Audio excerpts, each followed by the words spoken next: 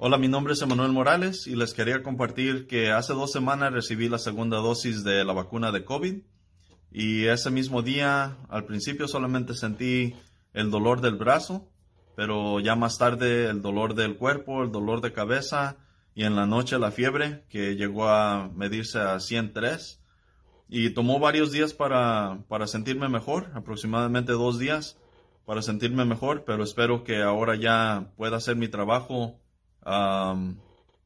de una manera sana y, saludable con mi comunidad, con los jóvenes con los que trabajo.